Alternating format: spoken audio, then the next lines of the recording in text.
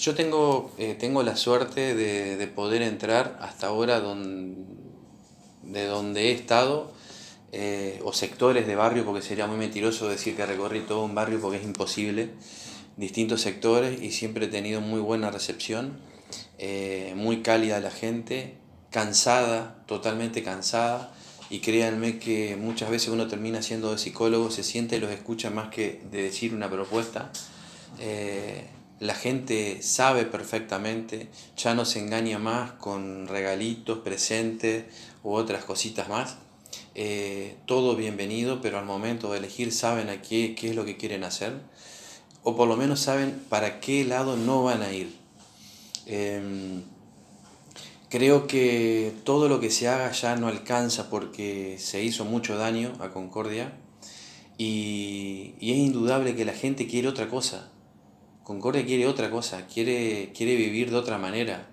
No podemos ser durante años una ciudad marginal en, la prensa y, que nos cataloguen o, en todos lados, en todo el mundo, por, sin ir más lejos, que nos conocen por, las miserias de Concordia, teniendo la oportunidad de ser una hermosa ciudad.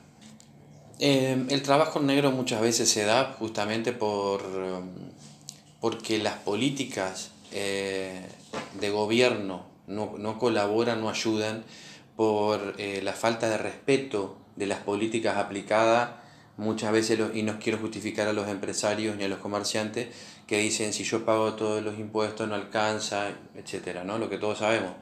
Pero creo que yo cuando voy a, hacer una compra de cualquier cosa pido mi ticket hasta el día de hoy, de lo más chiquito a lo más grande. He hecho denuncias inclusive cuando empresas grandes no hacen, eh, no te dan el ticket correspondiente. Porque creo que tenemos que entender de una vez por todas lo importante que es eso. Eh, es, es como mi obligación, si yo fuera intendente de esta ciudad, de generar empleo.